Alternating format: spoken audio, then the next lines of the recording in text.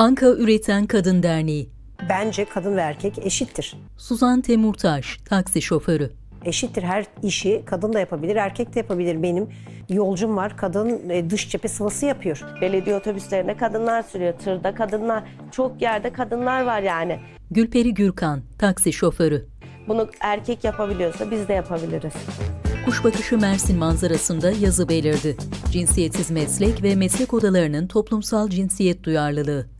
Bir broşür üzerinde kollarını göğsünde bağlamış saçları toplu, kurumsal görünümlü bir kadın fotoğrafı yanında yazı şu şekilde. Cinsiyetsiz meslek ve meslek odalarının toplumsal cinsiyet duyarlılığı Anka Üreten Kadın Derneği, Sabancı Vakfı Hibe programıyla desteklenmiştir. Mersin'den 10 tane meslek örgütü seçtik. Ee, bu meslek örgütleriyle çalışmaya başladık. Devrim Gündeşli, Yönetim Kurulu Başkanı.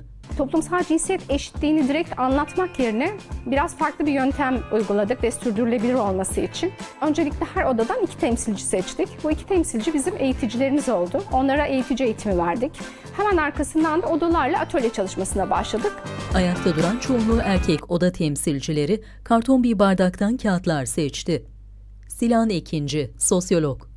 Özellikle meslek örgütlerine odaklanmamızın sebebi aslında mesleki anlamda kalıplaşmış yargıların söylem bakımından söylemlerimizi değiştirdiğimizde birçok şeyi değiştirebileceğimizi göstermek adına çok önemli olduğunu düşünüyorum. Zilan Kılıç, avukat. Meslek odanızda böyle bir eğitim almış olsak ve ben toplumsal cinsiyet eşitliğine duyarlı bir avukat olsam, söylemlerim, bakış açım, müvekkillerimle iletişimimi de etkileyecektir. Girdiğim e, karakolu da etkileyecektir. Girdiğim cezaevini de etkileyecektir. Gözlerine isimleri yazılı kağıtlar iliştirilmiş oda temsilcileri bir salonda ayakta sohbet ediyor. İlem Sağaltıcı, Mersin Manavlar Odası Genel Sekreter. Gerçekten ben müşterime böyle hitap ediyorum. Ne kadar yanlışmış. İşte ya da ne bileyim ben arkadaşıma böyle hitap ediyorum. Hiç doğru değilmiş bunlar deyip ilk önce dilimizi düzeltmemiz gerektiğini öğrendik. İlhan Yalçınkaya, taksi şoförü.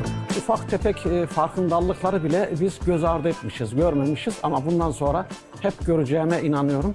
Her yerde olmalı, her şeyde olmalı kadın. Salonda ayaküstü konuşanlar arasında iki kadın gülüştü. İlk önce dilimizi değiştireceğiz ve daha sonrasında da dilimiz e, davranışlarımıza, alışkanlıklarımıza dönüşecek. Gökhan Mete, taksi şoförü. bayan değil kadın demeyi öğreneceğiz artık. Başka çaremiz yok.